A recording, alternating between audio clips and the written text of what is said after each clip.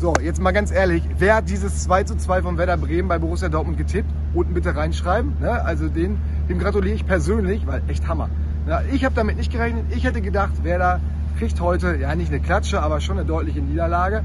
Aber ich habe mich getäuscht und äh, ich muss auch ganz ehrlich sagen, am Ende habe ich mich fast so ein bisschen geärgert, weil da wäre sogar ein Sieg drin gewesen und nicht, das hat Florian Kofeld vorhin zu uns in der Mixzone gesagt, wir haben hier keinen Punkt ergaunert, wir haben ihn uns erspielt. Und das finde ich auch. Also zweite Halbzeit, das war spielerisch echt gut und äh, da möchte ich noch ein bisschen was zu erzählen. Nuri Schein in der Mixzone vorhin angesprochen auf das ganze Verletzungspech. Ja, war ja heute eher so eine Rumpftruppe. Da war der richtig sauer und sagte so, Moment mal, Rumpftruppe, das gefällt mir alles nicht in Bremen, wie er über uns redet. Wir sind Nuri Schein, Maxi Eggestein, Davy Klaassen und Leo Bittenkurt im Mittelfeld. Das ist so schlecht nicht, hat er gesagt. Ja, und so schlecht haben sie dann auch nicht gespielt. Gehen wir mal eben die Reihe nach durch. Milot Rashica nach 8 Minuten 1 Rakete, ne? Ewig verletzt, kommt wieder, macht gleich das Tor. Und was sagt Florian Kofeld hinter zu uns? Leute, ihr habt, wisst ihr eigentlich, dass er noch gar nicht richtig fit ist? Der ist vielleicht bei 80 Prozent oder so. Der hat nach einer halben Stunde gepumpt wie ein Maikäfer. Ja, geil, wenn ein Trainer sowas zugeben kann. Aber es hat Florian Kofeld. Ja, dann kommt sofort das 1-1 und Michael Langner so ein bisschen schläft bei der langen Flanke. Vielleicht hätte der die Klassen vorher noch rauskommen können. Also war er in der neunten Minute. Und dann gehen die 1-2 in Rückstand weil Reus dann noch einen Kopfball macht, also Götze Kopfball, Reus Kopfball, die kleinsten auf dem Platz, hätte ich fast gesagt. Naja gut, machen wir einen Haken, weil da wollte auch Florian Kofeld gar nicht mehr drüber sprechen, weil er sagte, ich rede heute über was Schlechtes, weil wir haben doch heute hier einen Punkt geholt. Naja, und dann sitzen sie in der Kabine und das finde ich jetzt echt bemerkenswert, was Florian Kofeld da für einen Einblick gibt. Er sagt, wir haben eine Szene aus der Defensive gezeigt, wo wir fanden, da müssen wir demnächst müssen wir besser stehen in der zweiten Halbzeit. Und dann haben wir nur noch über die Offensive gesprochen. Klar, man will in Dortmund ja noch einen Punkt holen, aber eigentlich muss man auch erstmal aufpassen, dass man hier nicht den Popo voll kriegt. Und dann haben die auch wirklich besser gespielt, mutiger gespielt. Auf einmal, das war das Werder-Fußball und Florian Kofeld hat festgehalten, das war die, der beste Fußball, den wir seit Wochen gespielt haben.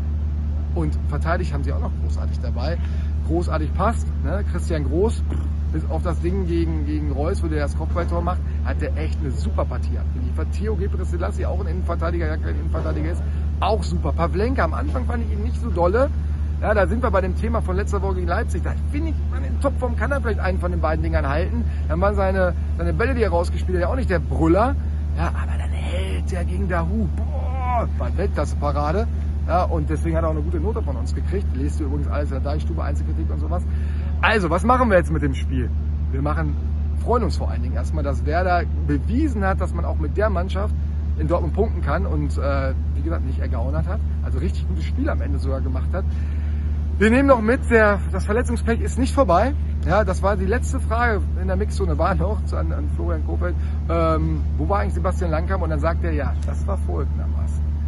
Ich bin am Abschlusstraining am Freitag war das, äh, in die Kabine gegangen und habe zu Boro, Tim Borowski, den Co-Trainer, gesagt, ey, eine Woche geschafft, ohne Verletzung. Ja, dann guckt Boro ihn aber ein bisschen komisch an und dann sieht Florian Kofeld, dass hinten auf der Pritsche Sebastian Langkamp liegt. Hat sich im Training einen Hexenschuss geholt. Also, es ist nicht zu glauben, das Verletzungspech bleibt da, aber Werder bleibt ruhig, besonnen, kämpft, spielt sogar guten Fußball.